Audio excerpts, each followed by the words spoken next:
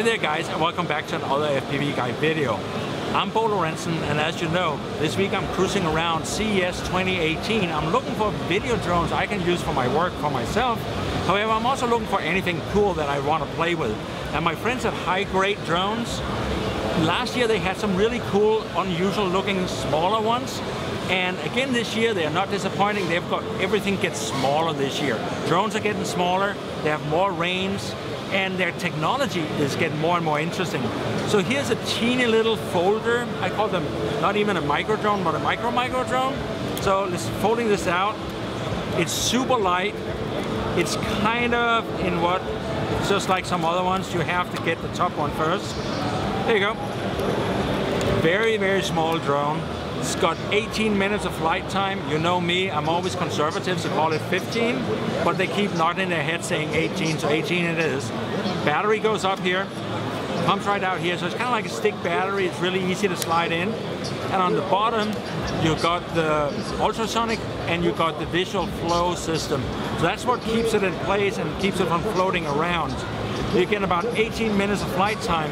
Now, the aircraft like this will fly with your smartphone, and that's about $500. Now for $700 you get it with a proper controller. So you actually, I'm gonna put this down, turn this around real quickly. You get sticks and you get camera, video recording buttons up here. And the way it works is you just fold the antennas, fold the antenna up here, like that, out, and up.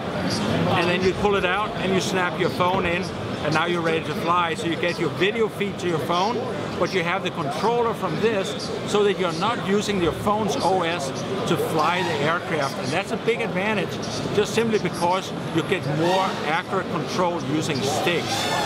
Now, they are laughing at me around here because I looked at this and I say, here's the battery, but where did you guys put the drone? Here's the drone that goes with this battery. That's the next one up, and that's $300, so it's not as much money. It's also a little folder, but it has a very unique technology for positioning. So let me unfold this. And there you go, that's its unfolded. Battery sits in the belly here. And let's look at what makes it unique up front. Here is the regular camera, we're all used to that, but right below it is the positioning camera.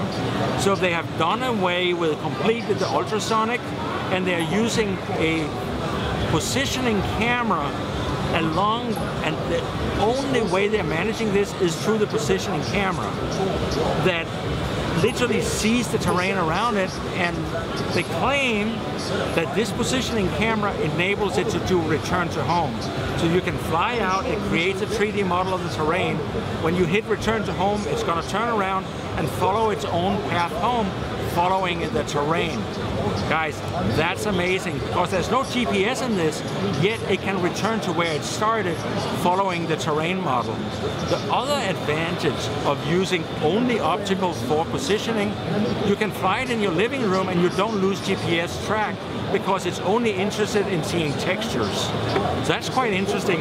Now, both of these drones here are of course 4K cameras. I mean, nobody today will make drones without 4K got micro SD for recording or record directly to your phone.